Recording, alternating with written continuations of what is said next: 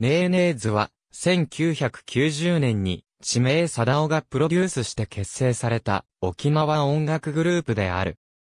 ネーネーは、内縄大和口で、お姉さんの意味。英文表記は、ネニズ、所属事務所は、ディグ音楽プロモーション。1999年と2003年にメンバーを総入れ替えしているため、本校では1999年までを第1期、2003年までを第2期、2009年までを第3期、2014年までを第4期、2019年のメンバーチェンジまでを第5期、以後現在までを第6期とする。またそれ以外にもメンバーチェンジを頻繁に行っている。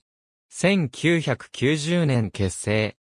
1991年にインディーズで発売したアルバムエコーが話題となり、翌1992年にキ・オーンソニーレコーズからメジャーデビュー。1997年にはアンティノスレコードに移籍するが、1999年11月15日に行われた沖縄コンベンション劇場での公演を最後に第1期の活動を停止する。1999年9月にメンバーを一新し、第2期の活動を開始。したがって、第1期メンバーとは、微妙に時期がクロスオーバーしており、第1期、第2期の両メンバーがライブで共演したこともある。2003年に解散。2003年に地名がモーニング娘。のグループ展開を参考にネーネーズの世界展開を目指すとして、新メンバーの一般公募を行った。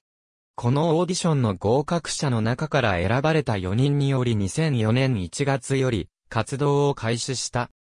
なおこの際、ネーネーズの商標登録をめぐり、地名と那覇市のマネジメント会社、島唄ミュージアムの間で裁判沙汰となる事態に発展している。2016年に CD デビュー25周年を迎え、元旦に実家をリリース、沖縄ミニオとメンバーの書き下ろし新曲を収録。同年1月16日に、第5期メンバー初の海外公演を行い、台湾、台北市火山1914文化総意、共演区で、J、ミュージックラボ2016 in 台北に、加藤ミリア、奥花子、サイコルシェイムなどと出演。